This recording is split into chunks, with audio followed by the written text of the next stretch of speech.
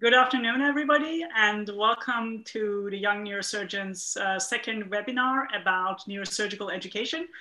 This is a really important topic close to our heart, and we are delighted to have three wonderful speakers with us today. Uh, Dr. Essene cannot join us today, unfortunately, uh, but we have three impressive talks, one from Dr. Martin Stienen and Felix Stengel, uh, Dr. Alexandra Alessandro Perin and Dr. Aaron Cohen.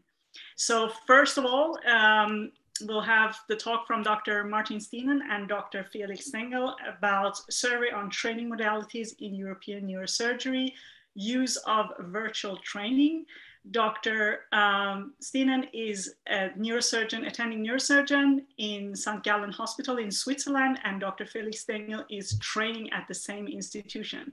We're very excited to hear your talk. Please take it away, Dr. Stengel.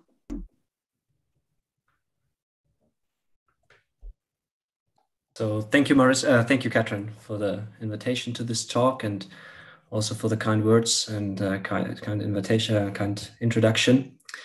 Um, as you mentioned, I'm a resident in um, the neurosurgical department in St. Gallen, working with uh, Martin Stienen, and our talk today is about the transformation of neurosurgical training. Currently, we're experiencing a change in neurosurgical training due to the fact that there are recently more and more uh, modern training technologies like augmented reality or virtual reality and simulation based models are increasingly applied in neurosurgery and these technologies are not only used in planning and performing an operative procedure, they're also used for operative training of trainees and um, also for board certified neurosurgeons. And in former days, one said, mm, see one, do one, teach one. But nowadays, this might be a bit more complicated due to working time restrictions. But still, um, the standard training is the hands-on training in the OR. So one might question, is it safe to perform neurosurgical training in the OR? And there are several studies done in the last um, recent years investigation investigating the safety of those uh, specific um, operations. For example, here one of Martin Stienen's study um, investigating the safety of education uh, performing an ACDF, another one uh, investigating um, the micro, microscopic lumbar discectomy, another one focusing on the decompression of spinal stenosis, and there are many more. Uh, shunt implantation is one, or uh, lumbar transforaminal epidural steroid injection, and one more, uh, the retrosigmoid approach, and all these studies came to the conclusion that indeed it is safe to perform um, or to do neurosurgical training in the OR. But as I mentioned, we got this problem nowadays that due to occupational health and safety laws, our training time or working time is restricted, and this affects our training. So we got this nice survey from uh, 2015 from Martin Stienen uh, with about 500 respondents all over um, Europe, um, where the residents were asked about their working time.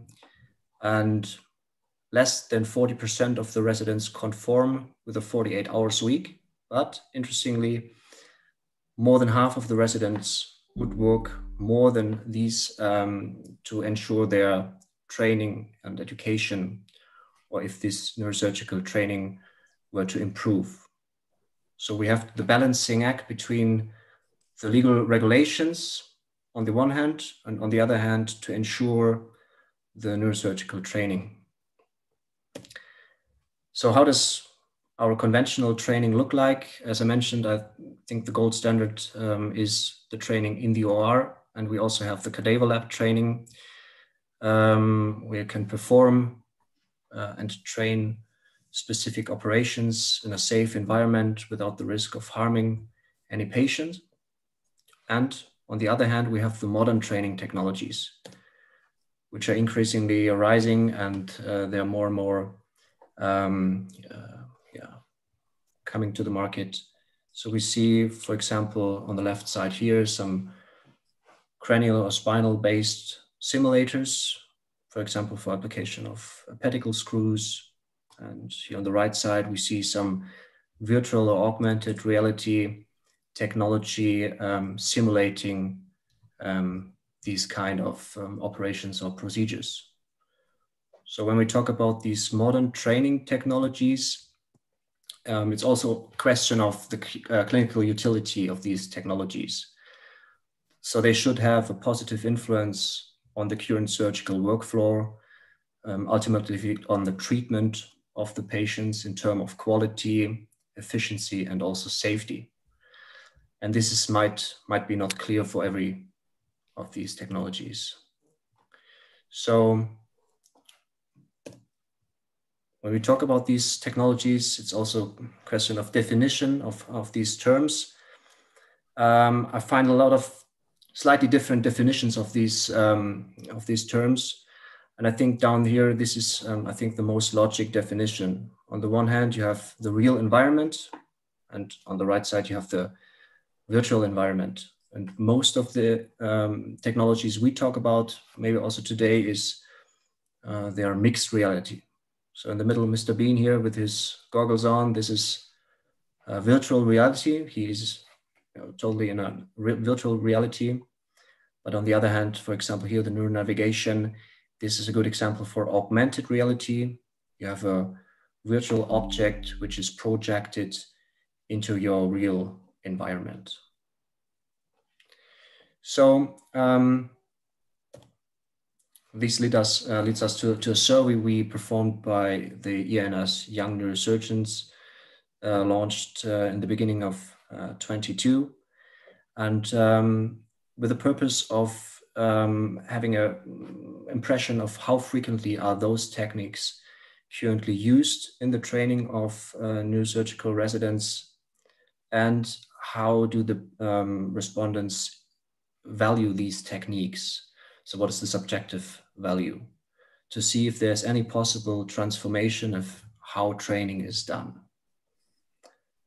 And we launched this or shared this, um, um, this survey with uh, EANS and also with uh, friends from FLANC, also from South America and Latin America. Uh, I don't want to go too deep into those figures of the demographics, just to show you that we got about 500 um, respondents and well distributed between residents and also board certified neurosurgeons um, across the world, especially Europe and Latin America. And our first important question was, have you ever been trained with modern um, technology? Um, interestingly, only one third of the participants had the experience with those kind of technologies. And on the other hand, we asked, have you ever attended any training courses in the past three years um, using modern technology or using the conventional training technologies like cadaver lab training? And here you see the first big difference. Um, more than 70% of the um, participants um, had attended um, lab hands-on training but on the other hand, less than 40% made the experience with uh, those modern training training courses.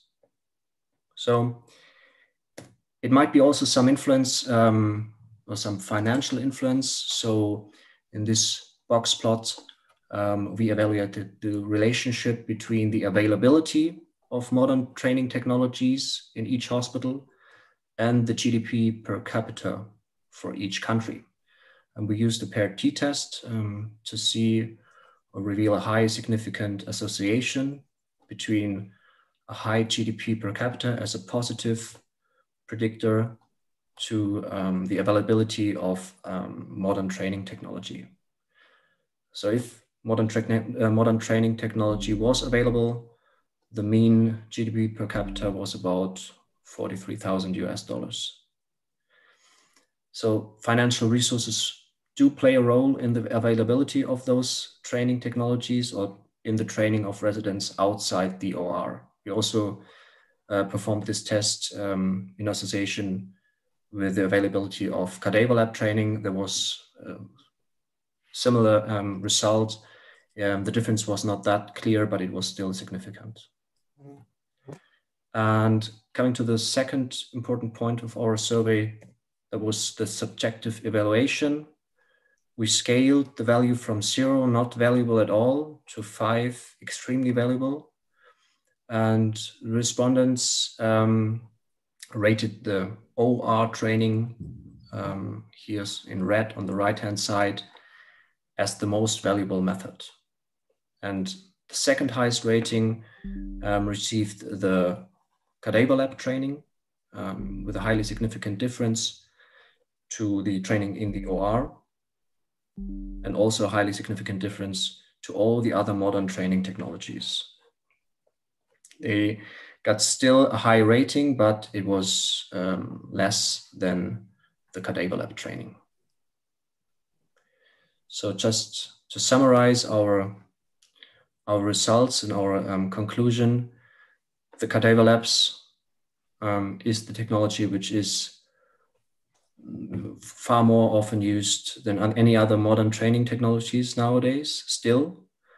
And the OR training or the hands-on training in the OR is still um, rated as the most valuable um, training um, or more valuable than any other conventional or modern training technology.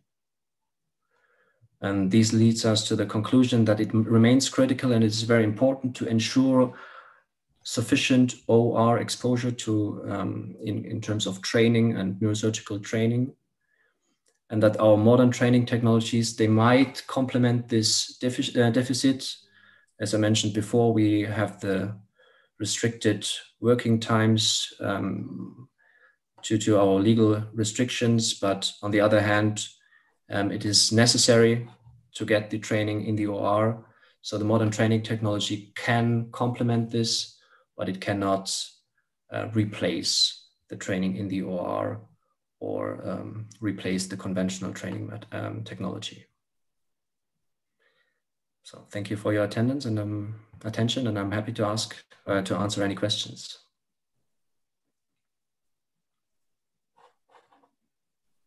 Thank you so much, Dr. Stengel. And uh, if there are any questions, please write them down in the Q&A box and not in the chat box so we can answer that. But I think we can move on to um, the next talk. I can just ask you something. What would you be your ideal training mix, so to say? What, what do you think would be an ideal set of like, if you would put together a training program that you think, because you're now in training? Yes, um, I think it's a good mixture between training in the OR because it's the real scenario. You cannot simulate this real scenario in a cadaver lab training or simulator lab training. And I would, I think a good mixture between all of them is good. Um, you need the OR training. I think you also, it is good to perform some training um, on the cadaver lab um, for anatomy and for especially pedicle screw placement. Um, and I think the simulator based models, um, they are useful, but they are limited. Um, it is interesting to see, oh, it is interesting to, to, to, to use them, but they're very limited, I, think, I guess. Yeah. Adrian, if, if I may comment on this too, what we currently try to build up, and, and we're in the process of this, actually, we have already built a couple of modules uh, in St. Gallen is that we have um, like a course where residents, when they join the, the department, they are um, signed up for a adaptive learning. It's like an e-learning where they get a lot of um, theoretical background on a specific surgical technique, let's say lumbar disc surgery, and they have to go through this adaptive learning uh, until they are approved from the theoretical point of view. Then we go to a um, a, a like a, um, a, simulator. We for, for spine, for example, we, we just purchased the, the real spine model where they can learn how to do a, lumbar discectomy, where it's like bleeding and you have a, a CSF leak if you're not not careful. Um, and then if they if they do this too, then they are approved to go to the real patient, and actually then they can benefit more from the patient-based training, which then is a very long process, of course. I remember I had already operated 50 patients with the lumbar disc, and I thought, wow, now I'm done. I know how to do this. And when I had to operate the 51st patient, I struggled. So it's it's a very long process. But in order to get a very good start, I think it's good to have simulators and models. That's my personal opinion. Beautiful. Thank you so much. Um, we can move on if there are no. Uh, one Catherine. Yes. Yeah, I wanted to ask uh, Felix the same question that Laura mentioned. He was talking about the differences, the, the financial issues that uh, unfortunately make the training of some countries more difficult than in other countries who have a high income, right? And uh, I want to just ask uh, Felix and all the audience if us as a society should be more more aware of these differences and should make an effort to to balance or to help these countries that maybe don't have the, the access to uh, the simulators and the beautiful things that we are enjoying nowadays for the audience and for all the speakers. Maybe for Felix. Maybe I can say a few words to that uh, because we also tested uh, any any influence of the GDP to the um, attendance of training courses, and there was no um, association between GDP per capita to um, to um, attendance of those training courses. It was just it was just pardon.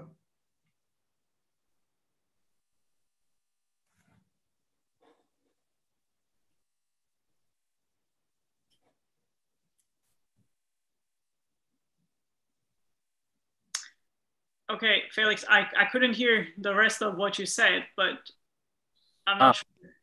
Yeah. So the GDP was not was not an influencing factor. It was not a predictor for attending any training courses. It was just a predictor for the availability of those training technologies in the uh, in the in the in the, in the hospital um, of each country.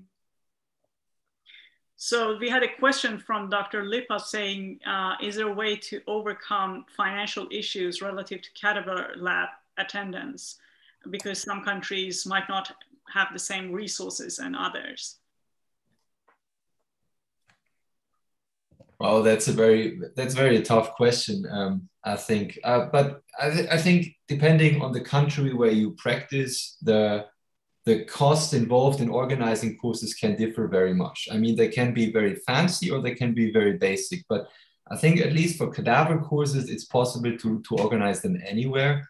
Uh, as Felix mentioned, to really uh, purchase new technology like we did with, with you know, our lab that we built up, that involves a lot of, of financial resources. And, and I couldn't answer the question how to make this available to all to all places. Um, but I think as the as there are more on the market, the prices would naturally go down, and then it would be more affordable for for others as well. So I, I see us also as early adopters. I mean, some of the stuff that we do and try and test is not fully developed, and we help them to develop it further. And then I'm very much hoping that the prices will make it affordable to, to other regions as well. Right. And there's also another question here from Dr. Garage um, saying, has there been an evaluation of the value of the use of training on live animals in any surgical training program? He's not certain if this is legal in Europe. Um, I, I just know from the AO, um, where I'm also involved, um, that they have stopped um, working on live animals because of ethical uh, issues. So I don't, I don't even know of any study investigating the value of it. I just know from people that participated in these courses that the, the knowledge gain was actually pretty phenomenal. However, I personally never attended one, so I cannot speak. Uh, I don't have any personal experience and I also I love animals, so I'm kind of happy that it doesn't take place anymore. However, from a training perspective, I think it was pretty awesome. But maybe the models can get as good as that, you know, in the near future. Yeah. Okay. All right. Uh, is there a comment from Dr. Rafa? No, no, I, I was I want just to come back uh, a, a, little bit about the financial availability. I uh, agree with Felix that this could be a real limitation in some countries, but uh, uh, this can be particularly true uh, uh for um, simulation, complex simulation uh, techniques, augmented reality, virtual reality. But there are also uh, other types of simulators like physical models, cranial and spinal physical models that can be also helpful for training just before entering the DOR. what do you think about that? What did you find in, in your survey? Is there any correlation with, with, with the growth, uh, um, with the GDP?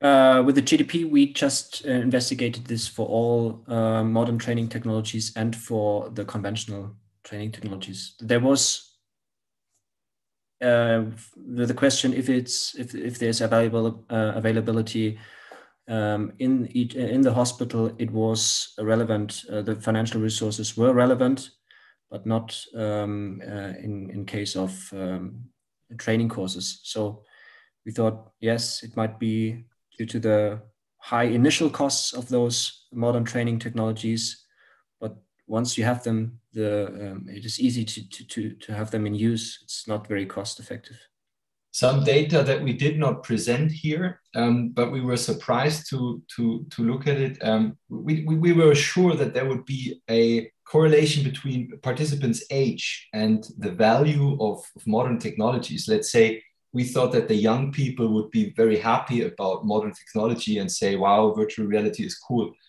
And there was not such a relationship, which you know we, we might discuss later, maybe after the presentations of the others, but um, I was really surprised because I would have expected that the young people are going through the roof with new technology, but there was no age relationship.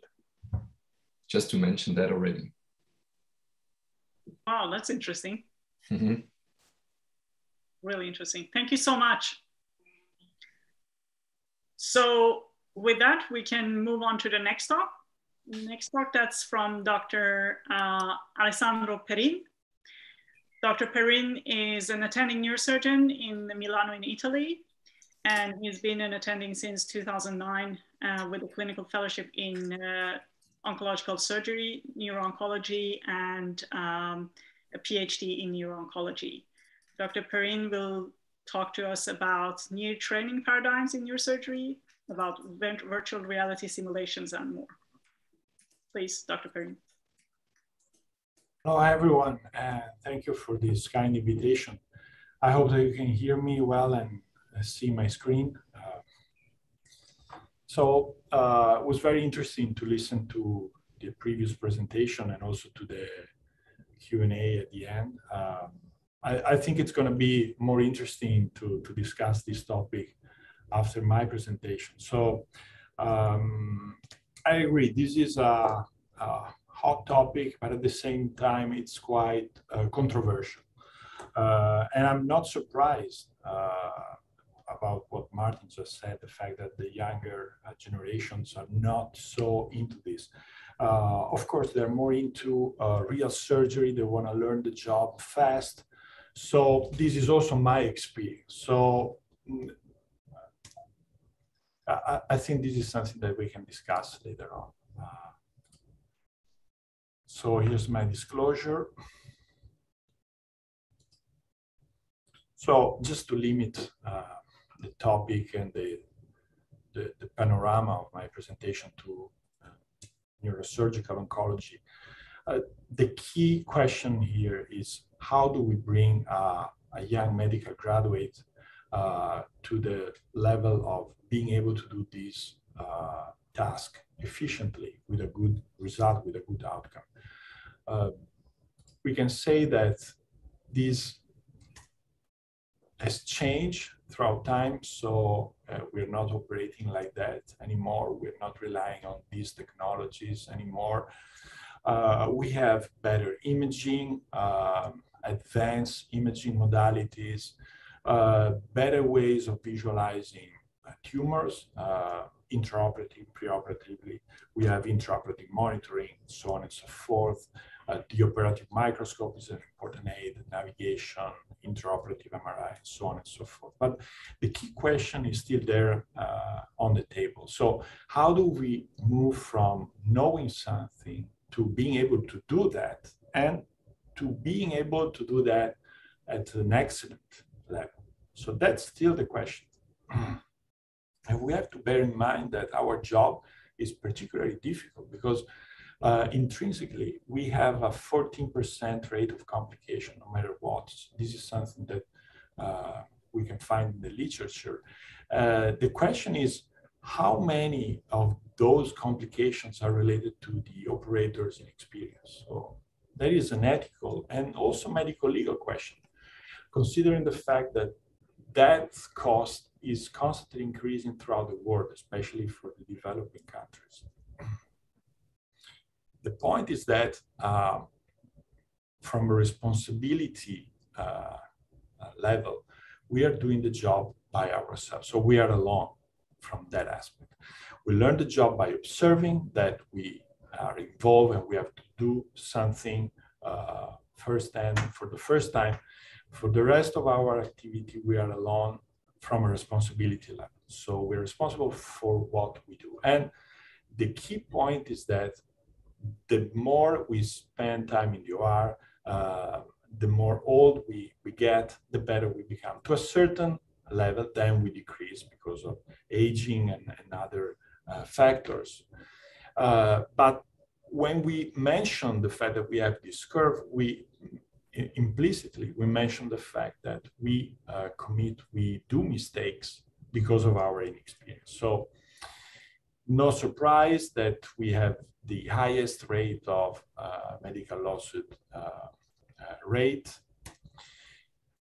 And that goes along with a, a problem. The fact that we want to operate more, especially when we are young. Uh, but what about, this is brilliantly reported in this article, what about kids when we have to operate on children, for instance?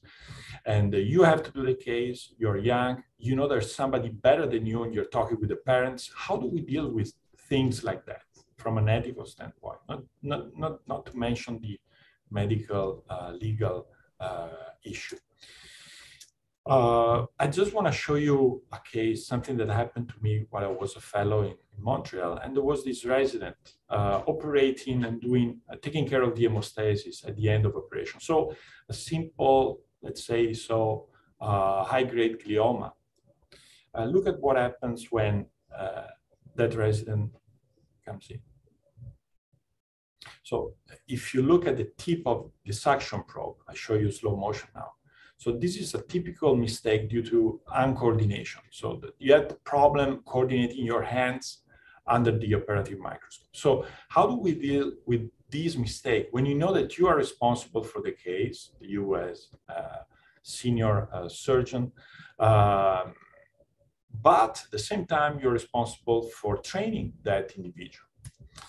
Uh, so this is the uh, cultural, the, the technological uh, milieu when we created this center in 2016.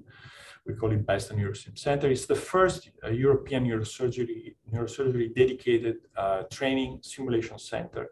And it is endowed with a, a bunch of uh, high technology devices. I don't want to spend time showing you these. I mean, you can find everything on our website.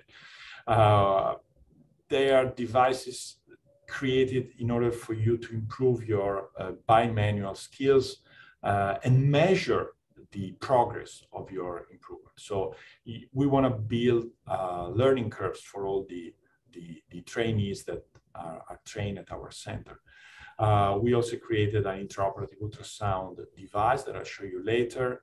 Uh, we have all the 3D virtual reality haptic feedback uh, simulators that are available on the market. We can discuss that later on, uh, like Immersive Touch uh, or Vesalius, which is a surgical planner, our 3D uh, rehearsing device. Or we have um, NeuroTouch, NeuroVR, which is probably the best 3D virtual reality haptic feedback simulator uh, for neurosurgery. You can do both endoscopic and microscopic uh, procedures like tumor removal, hemostasis, opening of the Sylvian fissure, and so on and so forth. Uh, plus, we also have a surgical theater, which is a neurosurgery dedicated platform uh, for surgical rehearsal. You can fashion craniotomies, you can clip aneurysms, show you some studies that we did later on. We also created this uh, platform, which is called NeuroStream. It's a free tool which is available to all neurosurgery residents, and it is mainly dedicated to intraoperative uh, ultrasound. So for those residents or uh, neurosurgeons interested in learning fast how to interpret intraoperative ultrasound data and pair that, compare that with uh, real time with preoperative MRI, this website, it transforms your smartphone into a virtual intraoperative ultrasound probe. And it's something that you can do at any time uh, in, your office or when you're at home. Uh, and it's very practical and easy to use. And it, we prove that just by one application, you can improve your um, ability to uh, decipher, to interpret intraoperative ultrasound images. Uh, we also created these uh, um, phantoms. Uh, they are endowed with a, fake bone, fake dura, you can use that combined with navigation, and you can use that feature of intraoperative ultrasound um, live. Um, just show you where we can tackle and, and suture the dura. Uh, we spent a lot, big effort in making it uh, quite realistic. So we created a pia mater, an arachnoid, and this is a model of meningioma. And uh, um, as compared to other models that are available, these are something that we believe are quite realistic and they can mimic uh, a cadaver, uh, as you were discussing uh, early on, Felix. So uh, we all know that cadavers are difficult to uh, to get. Um, they are expensive. There are some issues in how to dispose them when you are done with your job. Uh, this is something that mimics some of the features also in the interface between tumor and brain. So uh, we are confident that this might be something probably even better received as compared to virtual reality for young residents. So at a glimpse some of the studies that we conducted here at uh, uh, our center. I don't want to spend too much time on that, but we wanted to measure how useful uh, these platforms like surgical theater uh, are uh, for junior residents in order to learn the surgical anatomy and get involved uh, during the operation. So this platform allows you also to see some augmented reality during surgery. So you can overlap um, the preoperative uh, data, uh, uh, imaging, advanced imaging, even DTI, functional data on your um, on your surgical and integrate that, in your microscope. So we conducted some studies like the STARS, and we wanted to measure the impact of, of this technology on residents. And we saw that this technology was very well received. It doesn't impact on the length of surgery. And uh, residents, they claim that they can get a better understanding of surgical anatomy and get more involved during surgery. We also declined that in uh, vascular uh, neurosurgery with the STARS cascade. Um, it's a special feature of this platform. It allows you to uh, plan your surgical operation and design your craniotomy beforehand and decide what is the best clip that you want to use on a specific kind of aneurysm. So this is an exemplificative case. So there was this uh, MCA aneurysm and according to the surgeon that he wanted to use a curved clip, according to the simulator, the uh, straight clip uh, seemed to be better. So it's interesting that when it came to real uh, surgery, uh, the first attempt was done with a curved clip and um, accordingly to the preoperative simulator uh, simulation, it was not the best choice. So eventually the surgeon uh, decided to go with a straight clip that turned out to be uh, the best choice uh, since it could exclude completely the aneurysm without impacting on any uh, collateral uh, arterial branches.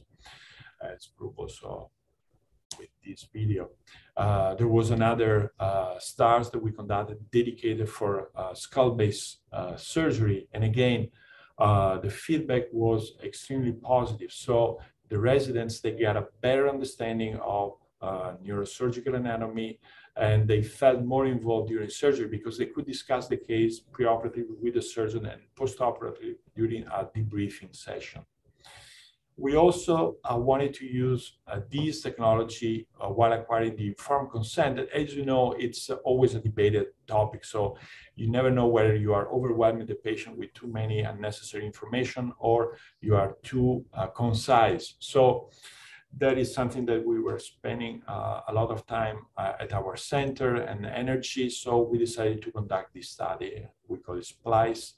And basically, it was uh, a study when we divided our patient prospectively into three arms. So control and two high technology informed consent arms. Basically, the idea was to discuss the case first traditionally and then go for a second round of virtual reality uh, visualization of the tumor. So the patient himself, in this case, uh, was asked to wear, like in this case, 3D glasses, and he was entering his own head and see his own tumor.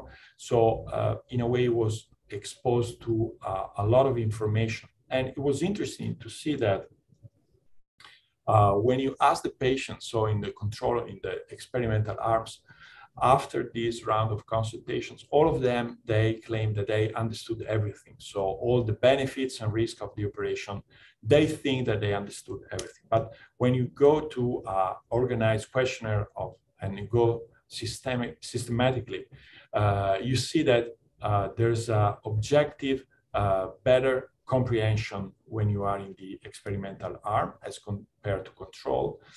Uh, and that is even more striking when it comes to the comprehension of the risks uh, that the patient is exposed during surgery.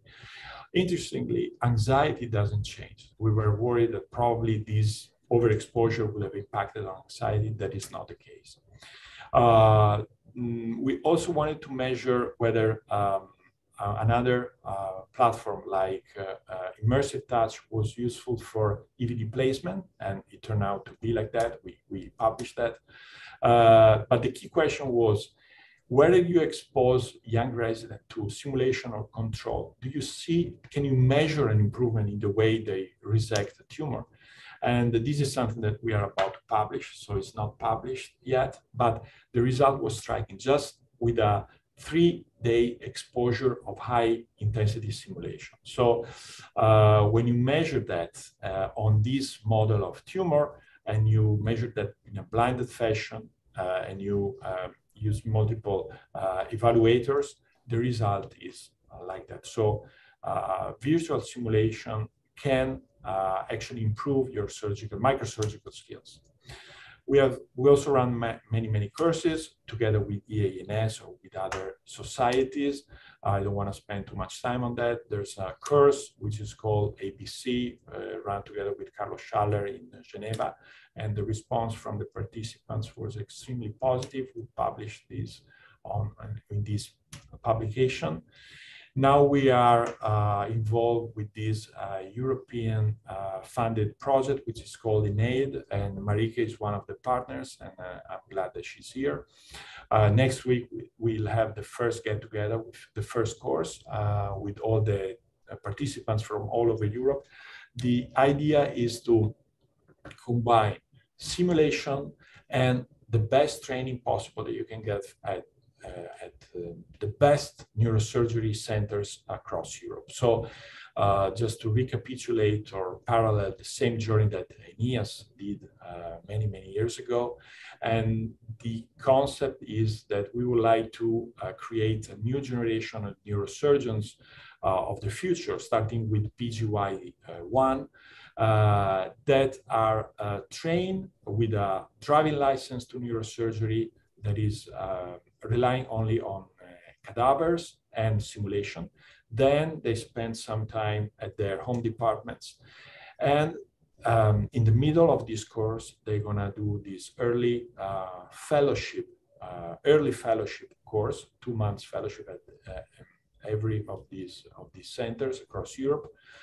Then they go back, and we want to measure the progress of these residents in a, a scientific, standardized fashion. And simulators they allow you to do that because you can measure uh, how much they improve in a uh, standardized fashion. Um, these are the rotation centers uh, where they will go. And these are the pillars. So cadaver lab, uh, 3D virtual reality simulation, plus something that is sometimes neglected, uh, which is communication and empathy training. So we have some dedicated sessions where we would like to at least expose junior residents to this, which is a problem. So communication between doctors and doctors and doctors and patients. There are some features like online syllabus, so a standardized ways of measuring what are the things that they need to learn and an online log, something that we can control as tutors. So what is the progress for each one of these uh, residents? And the idea would be to standardize and bring the European uh, level of training in neurosurgery to a higher degree. And that's why we have the EANS as a partner. Um, this is uh, all that I wanted to share with you. I don't know if there's any questions or comments. I would be glad to answer. Thank you. Thank you so much, Dr. Perin. That was highly, that was really impressive. I really enjoyed that talk. And there were a lot of interesting things there uh, that you shared with us. Thank you. So I was wondering, is there, is the model that you have where you can train on the tissue, is that commercialized or? No, not yet. Uh, it is something that we are uh, still developing because as I said, uh, we are implementing something like fluorescence and uh, uh, navigation and uh, intraoperative ultrasound, these features. I don't know whether it's going to be commercialized or only available here during our courses or together with EANS. Um, so far, it's a, a non-profit uh, thing that we develop. Yeah. Beautiful. Thank you. So uh, there's, there's a question from Dr. Broekman. Well, first of all, thank you so much for this inspiring talk. And wow, you've worked so hard to develop all these models. Um, you touched upon a couple of very interesting things, and I have actually two questions for you. So, you touched upon the learning curve and how that raises uh, legal challenges, ethical challenges, but if we don't train residents, well, in the future we don't have uh, surgeons, so that's also unethical. My first question is if you were to describe the ideal learning trajectory uh, that imposes as few risks as possible to the patients, but trains doctors as good as possible, how would you do that? And my second question would be the role of the non technical skills. You touched upon that in our uh, project uh, by describing the, your uh, project, but how do these fit in? Because I think there's a difference between practicing on a super nice advanced model and operating on a patient. You get more nervous, you're more aware of the complexity of, of human life and the implications of your actions. Um, is there a way we can include that in the training? So that relates a little bit to the first question as well. I'm very curious to hear your opinion and thank you again for the talk. Marike, these are very, very tough questions. So uh, I'm not sure I would be able to, to answer those, but I'll try. So first uh, question. Um, I think that we are fine the way we are. I mean, uh, this is an acceptable way of training residents, right? So uh, books first, then uh, cadavers, then you know courses, EANS, then you follow your your mentor and you watch I don't know uh, 100 operations. Then it comes one day when you are more involved. So we manage right to do that. Uh, if you ask me, is there a better way? Uh, probably yes. And technology, as uh, Felix and, and Martin said, uh, it, it's an aid it's something that we can take advantage of. Uh, I don't know whether we will all be replaced uh, by algorithms and robots in the future. So this is another thing that we have to keep, you know, in the room. It's the elephant in the room. For some specialties, that already happen or is about to happen. So I'm confident that probably surgery, and neurosurgery in particular, will be something that will be replaced uh, uh later on, at, at, a later stage maybe. But um, I, I, there's no perfect uh, recipe uh, so far. And I think that the project that we are doing together uh, maybe, maybe will help us in finding something more uh, if there's a more intelligent way of doing that. Uh, going to the second question, then back to the first question later. um, well, um, it is uh, it is difficult to to to answer that. Um, soft skills, can we train them? I don't know. Or is it something that is part of the way we are as human beings? Uh, and then you know uh, either you have them or not. Uh, I believe that you can bring everybody to a certain level of a level of decency, which is better than nothing. But I believe that is something that you should be uh, trained during the first uh, probably five years of your life or 10 years, right? So the way we are treated as a child. So there's plenty of papers and publications on that. So I'm not adding anything new about that. Uh, but I think it's worth mentioning uh, that problem. And I think it's something that we should spend more uh, attention as uh, senior uh, neurosurgeons with younger colleagues. Um, going back to the thing that uh, the ideal training is on patients, I agree with you. I mean, that kind of training is something uh, impossible to be replaced. But at the same time, I'm asking you, do you think you are a better surgeon today as compared to the way you were five years ago? I think that we will all agree that we are better surgeons today. That implies that the surgeries you did five years ago, they were suboptimal, right? I mean, it's part of the game. It's there. We all know that. That's why uh, sometimes patients they want a, a, an old neurosurgeon, and I understand that. But at the same time, it, it, you pointed that at the beginning of your uh, question time. Uh, we have to train young neurosurgeons. When we say that, it implies that some patients will get suboptimal operation in order to, you know, trespass to, to pass over that information and, and uh, knowledge. So um, there are ethical and medical legal issues, and uh, I don't have a perfect uh, uh, uh solution for that. Uh, I wonder about the other presenters. Thank you so much. There is a question from Dr. Rafa. It's not a question, it's a comment. Uh, I just want to congratulate with Alessandro.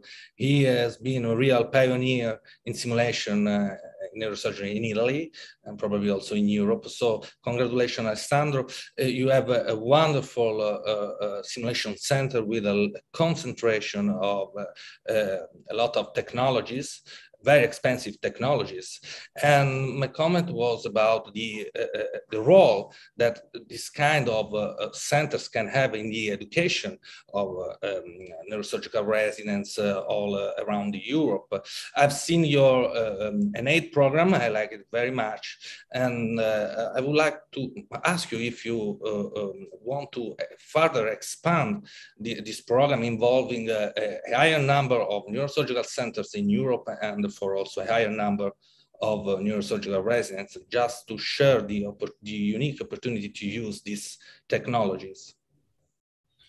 Well, thank you for your words. Um, I, uh, just for the sake of time, um, going to the NAID project, it's, uh, it's a study. So we don't know whether that is effective or not. So we have to validate this paradigm uh, together with Marike and with other partners. We will find what is more effective, what is not effective, what is something that can be done better. And hopefully we can provide the neurosurgical community with some better tools to train uh, residents. Uh, the ideal is that probably in that uh, uh, compendium of, of tools, there might be something useful. And this is also the belief of the EANS, which is supporting us. Um, we will see in, in two years or three years from now, we will know more and, and I'll get back to, to all of you. Thank you so much. There was also um, another question from Dr. Nikolai Tonchev here uh, that I also was reflecting upon. When you showed that map, that looked super impressive. I really like that in Australia, when you join a training program, you have to go to a center where you were assigned and you, you go like every six months. So that's part of the deal. You could just be sent to New Zealand just as well. And that gives you a broad, you know, um, exposes you to a broad variety of different surgeons. But the question here is, do you think that we should work harder in that direction uh, to make observerships, rotations uh, easier within Europe? Because it's still very difficult to get to do a rotation um, in another country. You know, your your home department sort of wants to hold on to you to do on calls, that sort of thing, uh, or hospital bureaucracy, that sort of thing. So that's the question. Absolutely. Uh, I, I, I, could spend one hour uh, talking about all the difficulties that we have faced and we're still facing in order to allow residents to practice or to observe IndioR uh, across Europe. So this is one of the main problems that we have in Europe. And I think that we need to um, overcome this. And I hope that this project, DNA, will provide a platform, a way to make this training more standardized. Because the way I, I see it is that we have uh, USA as our counterpart, uh, and we should uh, compete at that level. Uh, I don't think that we should still uh, think like separated countries, uh, at least for for our specialty. But I, I understand that it is not easy from from many many many aspects. Yeah. Thank you so much. We're going to move on to the next talk, which is going to be from Dr. Aaron Cohen. Dr. Cohen, we are honored that you're with us. Dr. Cohen is CEO and founder of uh, Neurosurgical Atlas, and he has he's been director of neuro-oncology in Indiana University Department of Neurosurgery, and we are honored to have you with us. Neurosurgical Atlas reflects Dr. Cohen's experience of 5,500 complex cases in neurosurgery. Thank you so much. It's an honor to be here today. Um, I want to thank uh, all the committee members who have uh, allowed me to have an opportunity to discuss and thank all the support of our international colleagues for the Neurosurgical Atlas. It's been immense. The Atlas currently has over 65,000 members, by far the largest neurosurgical association in the world. And I'm very indebted to the young neurosurgeons internationally who have been such strong supporters of our work and obviously we are here for them. So today I wanted to talk about what I think would be the future of neurosurgical operative planning at the same time education.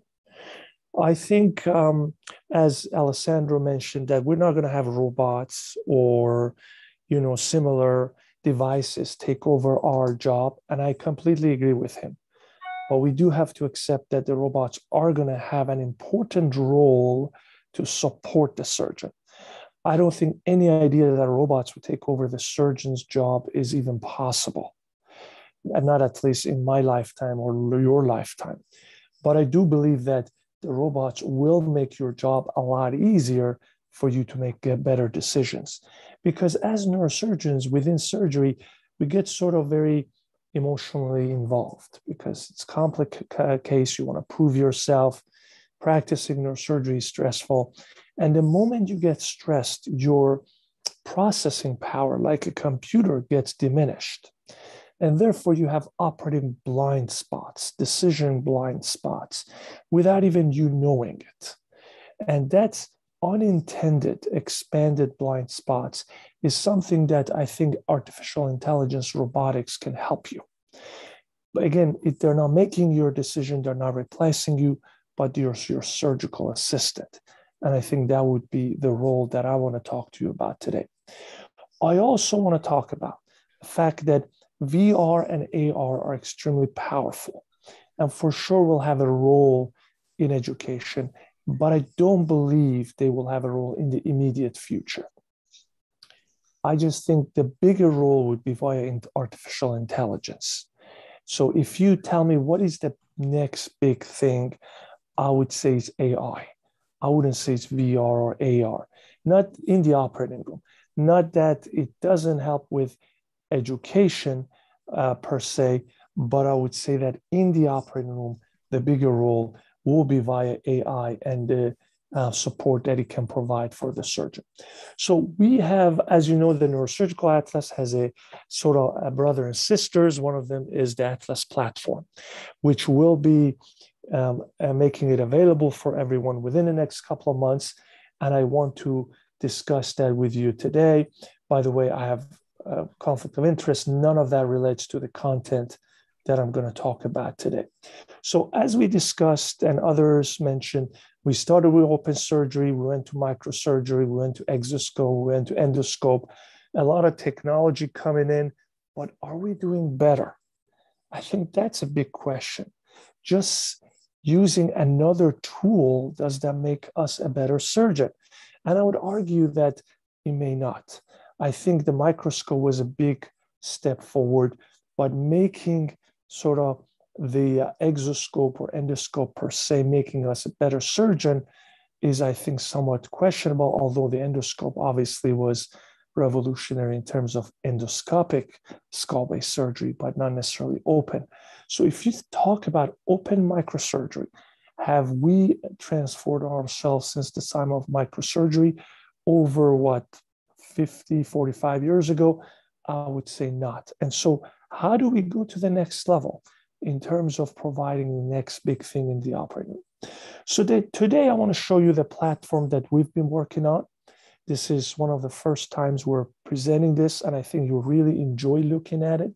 And I think we want to show how you can use artificial intelligence and other 3D technologies, which can easily be translated to AI and VR, because the moment the object is in 3D, it can be translated relatively in an easy fashion. So this is Atlas platform. It's a decision-making process and support. So at any point you can put tumor anywhere in the brain and it would give you the approach and their tracks that you could be crossing. See, that's the um, cortical spinal tracks that it gives you a warning. And this is a cloud-based software functionality that um, does almost over 600 decision points every second for you, which is not possible on a regular computer, even in the hospital or your advanced computer at home. So the ability for you to, and this can be adjusted to a patient specific model, which would be the big request I'm sure you all are thinking. And as you can see, the ability to move anywhere and get three approaches to any structure in the brain is extremely attractive. And what this does is that the night before your operation, you can essentially go there, draw the tumor. And as you can see here, we have different size tumors. If it's general tumor, ependymoma, glioma, meningioma, you can make the size or scale different, as you can see here. And based on that, it will give you three approaches to that tumor. So it's a big confidence builder for the young neurosurgeons. You want to say, okay, how can I confirm that the approach that I'm using is effective. And I think this is a software that can do that for you. So after you do that, you can come here and enter the 3D space using exactly the same sort of um, um, space that we were, but in 3D to see the route to the tumor. So there is three recommended approach to this tumor right here, as you can see, and you can remove the tumor as you wish and also adjust. It would give you the standard operative anatomy, but adjusted to the patient if you have the MRI. And then you can take arteries, veins, left and right brain out, and then look at your approach to this structure. And I'm going to go here, and this time the tumor is in the depth I'm going to bring it up a little bit just for you to see. And then let's say it's in the trigone of the lateral ventricle or in this area. So it gives you the approach. You can do contralateral interhemispheric, you can do ipsilateral interhemispheric, or a little bit more posterior approach. So you see all these approaches, but not only gives you approach, it also gives you a surgical route. Because remember, you can't go through normal brain through the cone. You have to interhemispherically dissect to go to the tumor. So I'm going to take out all the cones and you see how it's guiding you through the interhemispheric corridor. It tells you when you enter the brain to get to this tumor. And that can be obviously adjusted on the fly as you need it to be able to remove your tumor. Then will you say that, okay, this is the approach I'm going to use, and that's a contralateral approach that we have decided to use for a lateral midline tumor. Then you can even go adjust your route that um, you can do here if you want to go more medial, if you want to enter the tumor a little bit more sort of in this direction rather than or in this direction, you can adjust the path to the tumor. After you in, adjust the path, essentially the microscope within the operating room using its robotics can follow the path of the tumor for you and give you your dynamic navigation through your eyepiece. So at every moment through the brain of the patient, you can see how you're on the path to the tumor or not. You no longer have to sort of look away through the navigation, and we always do. So that's the application intraoperatively. Then what you can do oh, and, is. Uh, I'm really sorry to interrupt you. If you uh, share that in full mode, then we can enjoy the images a little bit better. Okay, thank you for asking. Is that better? That's fantastic. Thank you. Sorry about that. I uh, thank you for letting me know. So this will give you the approach to this tumor. As you can see, three different routes, very similar. And then you say, okay, this is what I've decided, contralateral interhemispheric approach. Let's go to the operating room. When we go to the operating room, we're going to overlap with some of the other work of our colleagues here today. And as you will see, we have simulated the OR environment and the setup in this case. And as you can see here, we have a 3D model of the brain. We have the OR setup. We have the surgeon. We have everybody there with the location of everybody and how the patient should be positioned. In this case, I like the lateral position for brain retraction. And then, in fact, even believe it or not, it brings your navigation on your microscope. So you're in 3D space. You can see what your plan was. You can adjust a craniotomy as you wish. You can have different views. And essentially, on your operating room table, you can take out and help me here. For some reason, um, let me bring that up to show you here. Let me go in here. And then I can take out the skin. I can take off the skull per se. Where is my skull here? Um, for some reason, I have left and right cerebellum. And for some reason, I, and within this skull anatomy, let me see if I, here we go. You can see the tumor and the route on the position of the table and the position you're planning to do. Essentially, you can see how you're going to go to the tumor and remove it. And if this is the route you want to choose, and then you can even remove the deep structures and look if this is a pathway that is doable for you. So this allows you essentially simulate the OR environment and be able to appreciate if this is the pathway that works for you. We're adding microscope robotics for you to be able to see essentially along the path of the surgery. So, really exciting, in my opinion, to be able to almost simulate your pathway the night before the operation. The, this is cloud based again at the uh, GPU power you need is way, way, way above even a very advanced desktop. But through a cloud system, as you can see, even on your phone, your very old iPhone, you can enjoy this experience. So, this is what I really wanted to talk to you about today. It's a huge opportunity for us.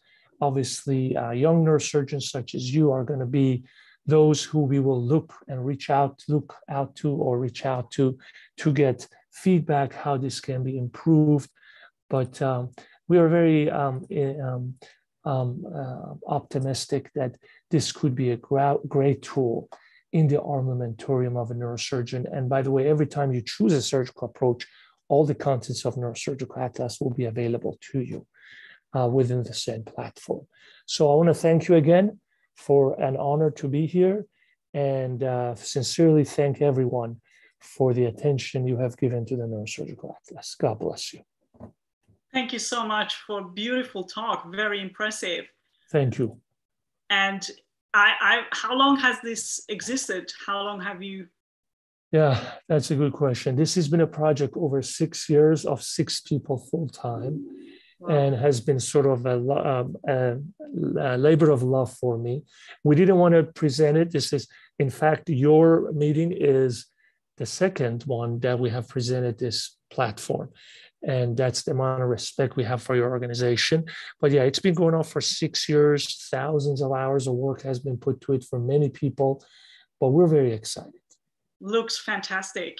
Thank you dear. Looks fantastic. And I, I, I was just like sitting there looking at it in awe. I was thinking oh wow this should have been available when i was training. I got all those things all those cases in or where uh, you know you you have a navigation but you can't really the trajectory is wrong you know the position is yes. not perfect all those things that you can you know work out in advance. That's such an advantage. Thank you so much for sharing that with us. You're welcome. You're, uh, thank you. you're welcome. Dr Stienen has a yes, question. I, thank you. Well i wanted to congratulate you to your presentation and and also your your achievement with the neurosurgical atlas. I don't know any neurosurgeon who has not used it. So thank you. It's really um, something that you contributed to our um, societies and that is very valuable. Um, for this particular presentation, I have a question. So as I understand, this is like one model brain. So it's not individual imaging that you can put in because naturally then i mean the gross anatomy is always the same but there are some like yes. arteries and veins especially for interhemispheric that you could interfere with right right so the patient's brain gets warped to this okay. so if you have a brain mri and a ct angiogram we warp the patient's brain to this so all the anatomy will the patient's brain not okay. this so if you think about it this is the mecca of ai and this model, it's called the Atlas Brain, is where all the artificial intelligence information is stored. Individual patients' brain get warped and transformed. They enter this space and they're adjusted, they're registered. Right. And then all that information will be available to you. I mean, I think it's fantastic to to have a tool like this where you can actually play with anatomy. Let's let's say, I mean, this yeah. is mm. what it is basically. But I always say operating is like baking a cake, right? You need uh, yes. Uh, ingredients and you need a recipe. And, and you know your ingredients are your, your operative tools and, and you have to think what do I need in order to achieve the goal of the surgery. And then uh, the, the recipe is the steps of, of the, the case. And this is really based on anatomy. So I think here, this tool gives you a very nice opportunity to go through the recipe and see, does that make sense? Or where will I struggle? Um, or where's the backup plan, right? Um, so congratulations again. I think that it was very beautiful talk. Martin, thanks. I have a lot of respect for all of you guys and the work you have done in a similar space. So thank you for a very, very kind comments. Thank you so much, Dr. Cohen. and with that, we can move on to the roundtable and questions from the participants. Um, in the roundtable, we have Dr. Broekman, from attending neurosurgeon in uh, Leiden and Hague University Hospital. We have Dr. Aldia, neurosurgeon in uh, University of Iliu in Romania. Maybe I said that wrong, I'm sorry. uh, Dr. Thomas Biriv, uh, attending neurosurgeon in Sofia, and Dr. Giovanni Raffa um, in, from Messina, Italy who is a neurosurgeon and re researcher there and a member of um, Young Neurosurgeons Committee, along with Dr. Alvia and Dr. Spiriev. So um, any questions? I just want to ask you all, why do you think that comment, you know, you, you mentioned, uh, Martin, that uh, there was no age difference in terms of like when are people interested in new technology and younger people are not necessarily into the newest things. Why is that, you think?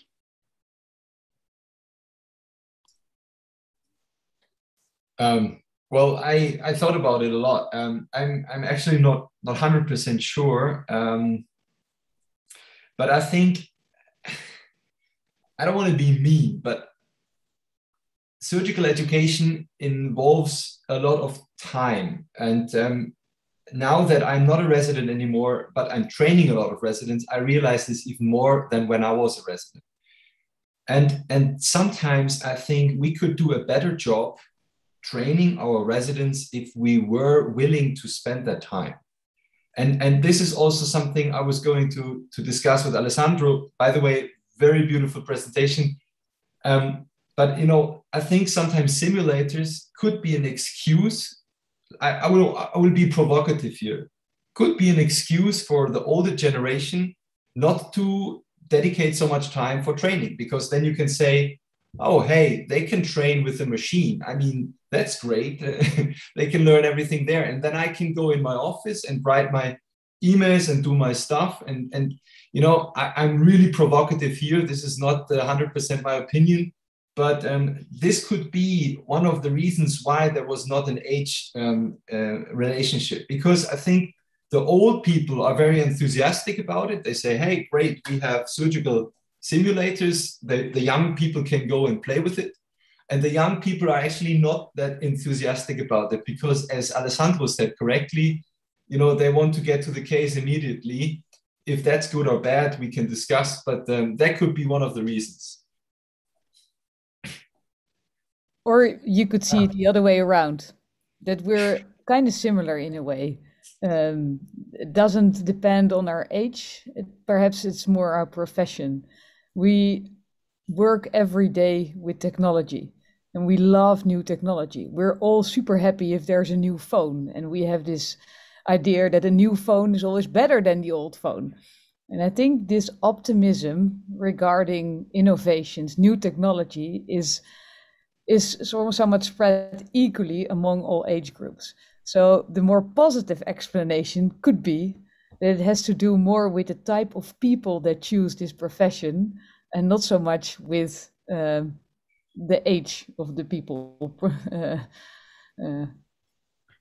Yeah, if I may comment on that, I I think that uh, residents probably uh, when they think of um, high technology simulation, um, they may have the perception of uh, being parked uh, outside of the OR. So, and and so they lose time that they are not spending in the OR doing that. So that's my explanation for that. And what I can say is that um, maybe in the future, uh, technology may be uh, an aid and may save us some time uh, from a training perspective.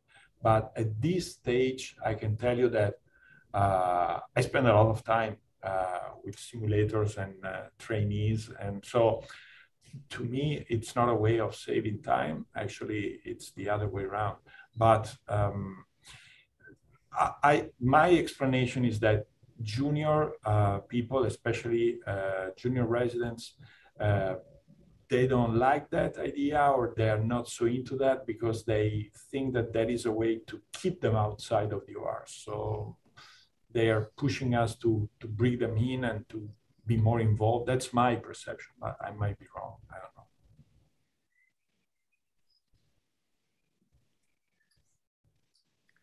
They say that technology is the ultimate surgical addiction. So everybody's addicted for more technology. It doesn't matter if it helps or not. You just want to have it, you know. That's absolutely true.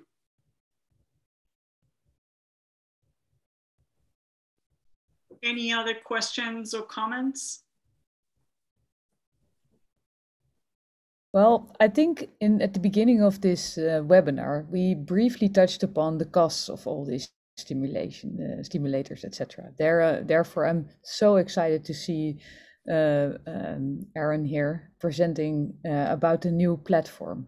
Uh, very excited that he created Neurosurgical Atlas because it allows people from all over the world to see surgeries that they would otherwise not be exposed to. I think um, uh, I'm very curious how we also as EANS can contribute to global education. How can we make the stimulators more uh, accessible also uh, in countries where there are not the finances to buy the newest stimulator or um, and where you don't want yeah ideally you don't want to practice your, uh, on the patient first but uh, perhaps uh, uh, with a stimulator or something i'm very curious to hear all your thoughts about this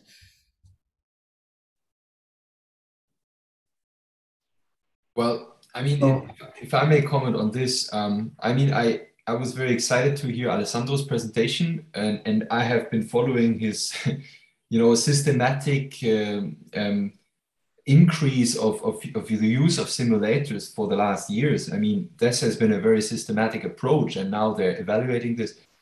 I mean, maybe not every center has to buy these techno because no, even the, the Swiss centers and people say Swiss centers have a lot of money, which which may be true, maybe not. But we cannot buy all of those. This is impossible. But we could send our people, you know, to Milan and the other centers to train there and then I think the EANS could um, get involved in terms of kind of helping to fund this, right?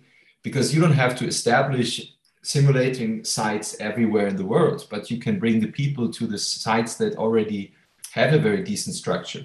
However, when I saw the map and you know the surgical sites of excellence and traveling to all these, I thought, wow, I mean that doesn't seem to be very cheap, you know, to to do this kind of fellowship here and there and UK and a couple of times Germany and maybe maybe you can comment on that. Is that possible to to pay for? Um, I agree with you. So uh, these kind of uh, high technology content uh, education or training centers, they should be few and uh, people should be sent over to be trained there.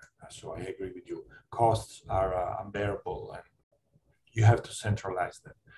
Um, thinking about the early fellowship uh, paradigm, which is one of the pillars of this project, uh, it's still a, a guess. Uh, we don't know whether that is really effective or not, but the idea is of being exposed to a super specialized uh, training from the very beginning and see what is the impact and the, the, the outcome uh, of that on, on, on that uh, participant. Uh, it is costed so far that is covered by the European Commission, which is funding the project. Um, the way I see it is that uh, if you're, we are part of the same uh, community uh, within Europe, and we might rely on a uh, let's say an accommodation which is not a five star accommodation. Uh, it shouldn't be that costly actually. Uh, like you, you might sleep you know at the hospital or nearby for one or two months and uh, then you should pay for your living but uh, it shouldn't be that costly. I believe. In, in europe at least with cheap flights you know uh, ryanair and at similar companies or train. I don't know. I, I, I wonder what is your idea about that? So yeah, I agree with you that you should move the trainees and not the centers and not in, increase the number of centers. But I was also hoping, could we think of developing like stimulators that people can do from home as long as they have like a cell phone or internet or something like that? Isn't there a way we can help education also uh, in those countries where, well, we don't have cheap flights and you can't afford to spend two months in a in a country where the cost of living are uh, a lot higher. So I was curious to hear thoughts about that. Well, we developed that platform, Neurostream.academy, and we focus on intraoperative uh, ultrasound, which is a cheap technology that might be uh, employed also in uh, across developing countries. And the idea is, as you said, to transform your uh, smartphone uh, into a virtual intraoperative probe and take advantage of our experience all the cases that we have done and all the 3D uh, images that we have acquired uh, intraoperatively. So that is a way uh, it can be enlarged for sure and, and made better from many from many points of view. Um, also, the, the models that we're working on possibly they shouldn't be too expensive. I mean, even thinking of a possible uh, commercially available product, uh, they are made with a 3D printer. Um, so that might be another way to, to overcome that. Although those uh, specimens, they are uh, single use or maybe, you know, you can use them for two or three surgeries, not, not no more than that. They're like cadavers, uh, but still might be a way to, to practice and get some experience. Um, but indeed, the your app with the ultrasound, yeah, things like that, I think are super valuable for education uh, uh, to uh, increase uh, exposure, and uh, yeah, super good that you have developed this, and uh, yeah, thank you. And indeed, the three D printers. Alessandro, I will say that you, you have shown a, a, wonderful case of the dissection of the meningioma, so a physical model. Uh, in my experience, I've seen in different courses that uh, especially junior residents are really enthusiastic to put their hands in these physical models. Uh, probably uh, uh, they are more enthusiastic using this kind of models than using uh, complex uh, virtual reality or augmented reality uh, techniques because they want, especially if they are junior residents, they want to do something. And trying to dissecting a mini meningioma is a great occasion for them.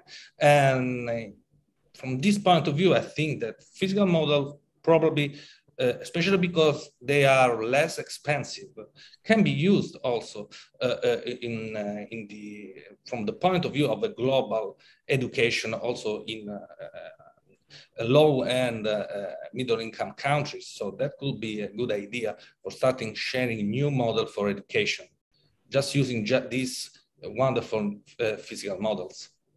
I agree with you. And what we are doing now is exactly what you said. So we would like to train people on the physical models and um, measure their progress on simulators. Um, and uh, eventually, in a blinded uh, fashion, we uh, in, in, in, the in the in the theater. Uh, so um, I agree with you. Uh, junior and, and, senior residents, they are very keen on operating on, on, on these models. Uh, yeah, the feedback we got is extremely positive. We have a question from one of the participants saying, um, does technology uh, replace real knowledge or real life experiences? Mm -hmm. I don't think so. That's, uh, well, I mean, I think we, we stated clearly, right? Yeah. Time, so I don't know. Comment from Dr. Sp Thomas Spiriev. Yes, thank you. Um, so I was very impressed by the by the, all the presentations. I have a question about for Dr. Perin. Do you think uh, that 3D printing might be um, uh, a good a good way to to, to have these simulators in, in the developing countries? Uh, sorry, uh, you said 3D printing. 3D printing 3D is a good, yeah. yeah, individualized 3D, 3D uh, printed models for for simulation because 3D printing is not that expensive nowadays um, in difference to, to, to all these virtual reality models that, that we present, which are beautiful, but only possible in a dedicated centers. Yeah, yeah uh, thank you for the question. Yes, 3D printing is what we are investing on right now. Uh, the key feature is the interface between tumor and brain. That is a, a very complex uh, issue, but I agree with you. That is something uh, cheap and something that can be uh, custom made. So we start from the DICOM data from the patient, and we actually obtain a model that uh, is 100% uh, uh, it's identical as compared to the to the patient. Yeah. Dr. Stienen has a question as well. Well, it, it's a comment uh, on, on what Marike said earlier, because we were thinking about how to, you know, get maybe simple models to, you know, places that cannot afford the, the high fidelity VR simulators. And uh, what we also have in our hospital is a, a, training lab where the residents can go and, and really start to work on some very low fidelity simulators you know, where you just have some some um, some kind of texture where you can dissect um, tissues from each other and and you know it, it may be a very boring exercise but it gives you the manual dexterity in order to to to to to acquire uh, to to do this step of the surgery. And you know then the, the whole procedure is many different steps but if you already have the dexterity to do this one thing and then you add another uh, tool uh, where you practice another exercise. I mean, each one of those simulators taken for itself is, is, is kind of boring and, and you feel kind of stupid doing that. However, your, your, your manual skills improve and then you, you might be better in the OR performing. And, and these are actually very cheap. What I could think of is, um, I don't know if you have any personal experience or maybe people that are on the call listening right now, I mean, if we have like a list of, of very good uh, low fidelity simulators that you could just buy in every kind of shop and, and you know, work on this during, you know, quiet hours on, on night call or something, maybe we could propose something like this from the EANS Young Neurosurgeons group because that could be some help for global neurosurgery. I mean, not everyone has to buy a VR simulator or can.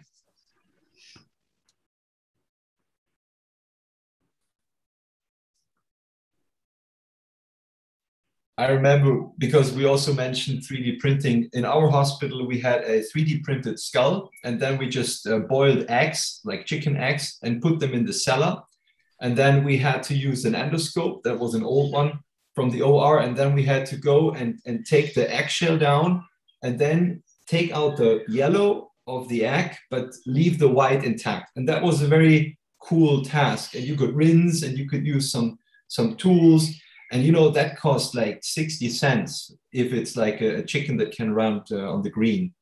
Otherwise it's even cheaper. So if you once build this with a 3d print you can practice endoscopic transsphenoidal you know and that doesn't cost anything. Things like that. The same the same can be done with with spine surgery for example placing screws in, in 3d printed models. So it's it's a very cheap alternative or like you know you can buy like a, a heart from a, a an ox and you know the the butcher will give it to you for free and then you can do uh, microsutures or bypasses and things that it doesn't have to be expensive but you have to train to get good for the or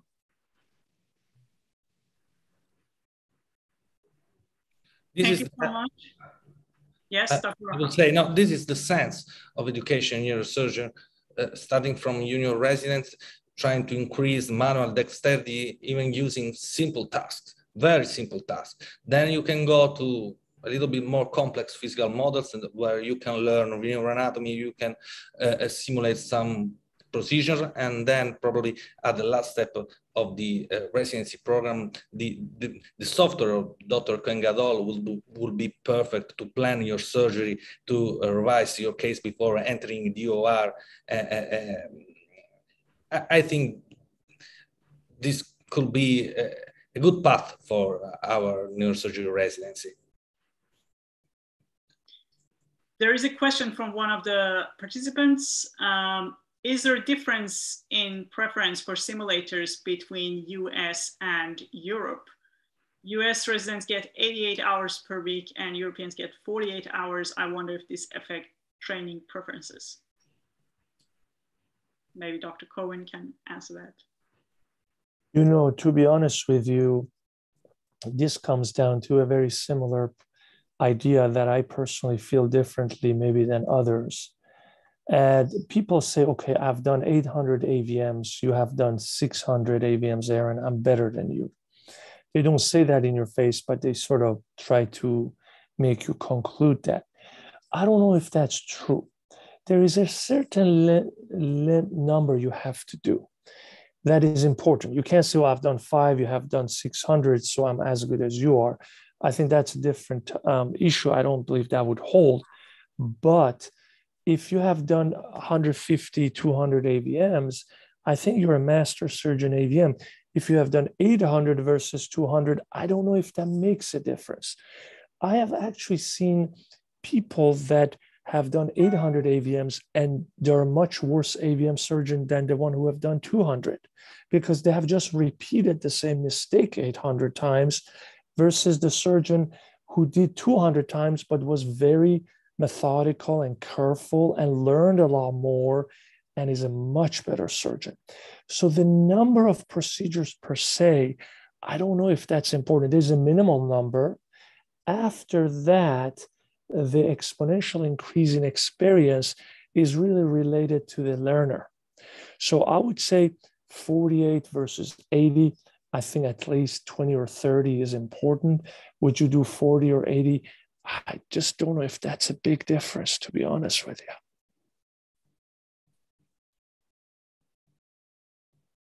That's great. Thank you so much. That's, sure. that's absolutely true. Um, there is a question for you, Dr. Cohen, actually coming to my phone. it's a bit controversial form of asking questions through WhatsApp.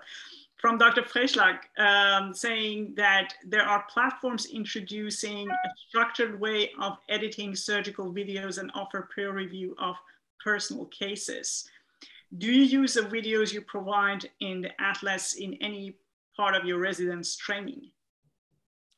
Uh, the last part, I'm sorry again, what about residence training? Did any of what my videos? Could you repeat that? So I, I was trying also to, to catch on the question, but uh, he says that there are platforms introducing structured sure. way of editing surgical videos and offer peer review of personal cases.